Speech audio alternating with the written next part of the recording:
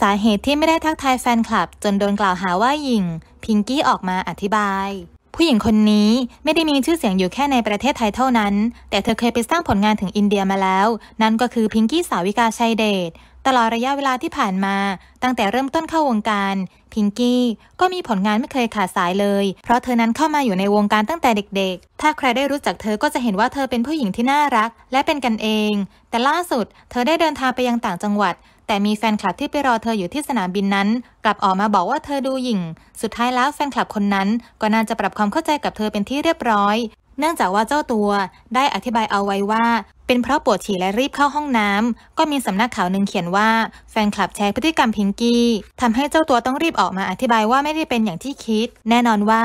คนที่เคยได้รู้จักเธอ ต่างพากันเข้ามาคอมเมนต์เยอะมากค่ะ